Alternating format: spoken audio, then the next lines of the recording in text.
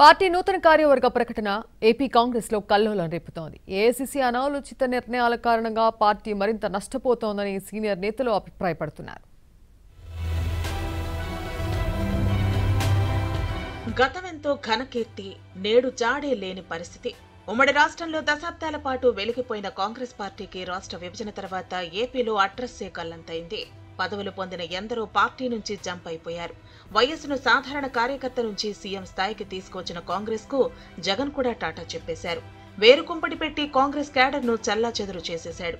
చివరకు రఘువీరారెడ్డి కేవీపీ శైలజానాథ్ తులసిరెడ్డి కొలనుకొండ శివాజీ నరహరిశెట్టి నరసింహారావు వంటి సీనియర్లు కాంగ్రెస్ను వీడలేక మరో పార్టీలో చేరలేక ఉండిపోయారు. అటువంటి వారితోనే కాంగ్రెస్ పార్టీ ఏపీలో కార్యకలాపాలు నిర్వహిస్తూ వస్తోంది.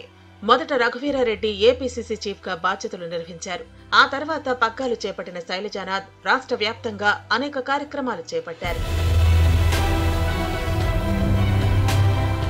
వైసీపీ ప్రభుత్వ పనితీరుకు వ్యతిరేకంగా ఆందోళనలు నిర్వహించిన శైలజానాథ్ ఇటీవల ఏపీలో రాహుల్ గాంధీ భారత్ జోడో యాత్రను విజయవంతం చేసి క్యాడర్లో కొత్త ఉత్సాహాన్ని నింపారు. ఇవేవి పరిగణలోకి తీసుకోకుండానే ఏఐసీసీ ఏపీసీసీ కొత్త కార్యవర్గాన్ని ప్రకటించింది. ఇది ప్రశాంతంగా సాగుతున్న కాంగ్రెస్ కార్యకలాపాలను పాడు చేస్తుందనే విమర్శలు వినిపిస్తున్నాయి. ఏపీసీసీ చీఫ్గా గిడుగు రుద్రరాజును నియమించారు. ఏపీసీసీ వాకింగ్ ప్రెసిడెంట్లుగా మస్తాన్ వలి జంగా గౌతమ్ రాకేష్ సుంకర పద్మశ్రీలను నియమించారు. మాజీ కేంద్ర మంత్రి పళ్ళన్రాజుకు ప్రోగ్రాం కమిటీ చైర్మన్ తులసిరెడ్డికి మీడియా కమిటీ చైర్మన్ బాధ్యతలు అప్పచెప్పారు. మాజీ ఎంపీ హర్ష కుమార్ ప్రచార కమిటీ చైర్మన్గా నియమితులయ్యారు. పద్దెనిమిది మందితో పొలిటికల్ అఫైర్స్ కమిటీని మరో ముప్పై నాలుగు మందితో కోఆర్డినేషన్ కమిటీని ఏర్పాటు చేశారు. రఘువీరారెడ్డి కేవీపీ శైలజనాథ్ హర్షకుమార్ వంటి వారికి రాజకీయ వ్యవహారాల కమిటీలో చోటు ఇచ్చారు. ఏపీసీసీ కొత్త కార్యవర్గం ప్రకటన నాయకుల మధ్య చిచ్చుకు ఆచ్యం పోసింది. తనకిచ్చిన పదవిని తిరస్కరిస్తున్నట్లు మాజీ ఎంపీ హర్షకుమార్ ప్రకటించారు.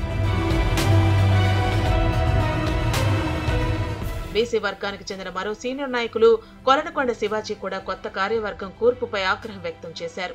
ఏపీసీసీ కొత్త కమిటీ కొత్త సీసాలో పాత సారాలాగా ఉందన్నారు. సామాజిక సమీకరణాలు పాటించలేదని బీసీలను పాతాళానికి తొక్కేశారని ఆవేదన వ్యక్తం చేశారు.